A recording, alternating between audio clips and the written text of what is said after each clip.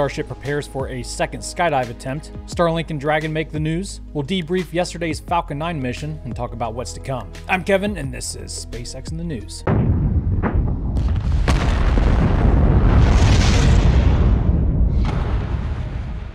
On Monday, Starship SN9 underwent a wet dress rehearsal before lighting up for its first three engine static fire on Wednesday.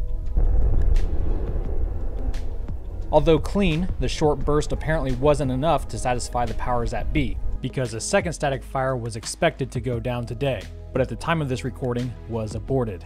This week, crews did remove what was left of the previous Starship off the landing pad and repaired the crater SN8 left behind. So it appears all the moving pieces are falling into place to allow this next launch and landing to happen soon. In fact, if SN9 does static fire this weekend, the rocket could be go for flight as early as Sunday. At the moment, the FAA has NOTAMs in place restricting airspace around Boca Chica for Sunday through Tuesday. However, of course, that doesn't guarantee liftoff will occur. We just gotta wait and see. Believe it or not, the next Starship in line, SN10, had its nose cone installed a few days ago. Things are moving at such a breakneck pace down there in South Texas, we're well beyond trying to keep up with every little move they make. Elon even confirmed that we could be seeing two starships at the launch site sitting next to each other in the next few weeks. It's too early to know which starships they could be. SpaceX has several under construction as we speak, and these are just the ones we've seen. Like I said, there's a lot going on. But thanks to RGV aerial photography, we got to take a look at something special SpaceX is working on behind the scenes. It seems they are working to further perfect their nose cone development, reducing the number of steel plates involved in building one and therefore making nose cones more structurally sound and more aesthetically pleasing. Which, you know, I don't have to tell you, is always the highest priority when making cool rockets. SpaceX President Gwynne Shotwell was interviewed by Ars Technica, and she shared her Starship thoughts and some interesting customer related business operations. She is confident Starship will reach orbit by the end of this year. Quote, You will always have schedule concerns and issues, but the amount of flight hardware down in Boca with the team is really impressive. Gwynne also made it clear that SpaceX chooses what vehicles best suit each customer's needs, and that they're already signing deals that allow SpaceX to decide if Starship will be the chosen mode of transportation. Quote, we want to provide launch services, and we want to provide it in the most cost effective way for us and our customers, and the most reliable way for us and our customers. And we know we have work to do with the insurance community, just like we did with Falcon 9, and just like we did with the Falcon reuse. End quote. SpaceX is having an easier time selling used than it did selling new a couple years ago. They have instilled confidence in the market with their successful launch history. And by the way, congrats to Elon on surpassing that other guy and becoming the richest man in the world.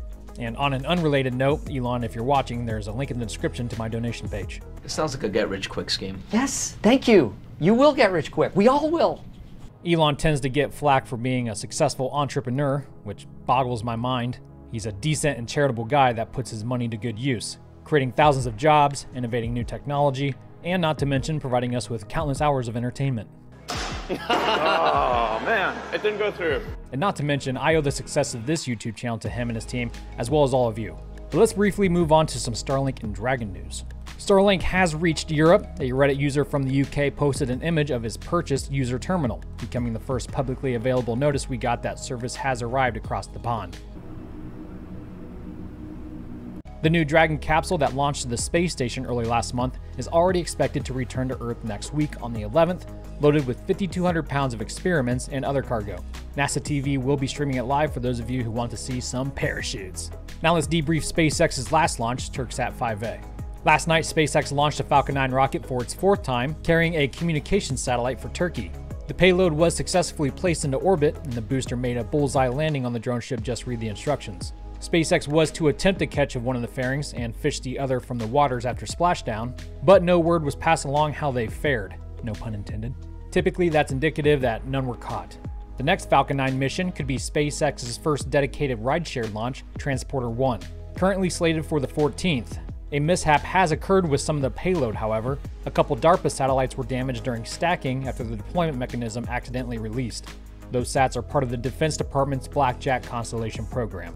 Transporter 1 will be the first SpaceX mission to place 10 Starlink satellites into a polar orbit. And we do have a little bit of Falcon Heavy news coming out of McGregor, Texas. Local Reagan has captured some images of one of its new boosters at the testing facility. The launch of this new Falcon Heavy is expected to occur a few months from now. That's all I have for you guys today. Thank you so much for tuning in, and thank you, members and patrons, for your support. Make sure you have a nominal weekend, and until next time, Godspeed.